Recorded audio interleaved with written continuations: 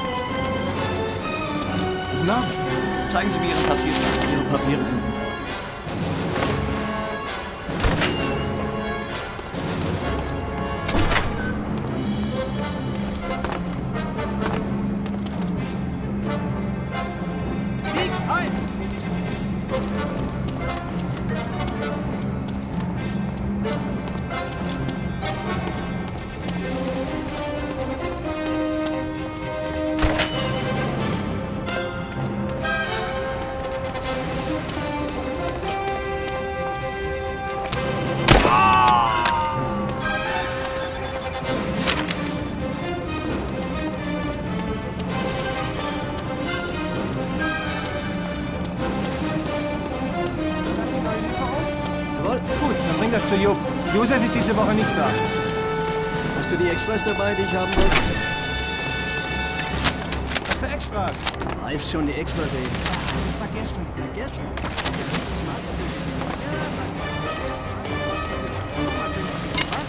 Du Halunke hast mein Geld ausgegeben. Ja, es ist weg. Ja, es ist weg.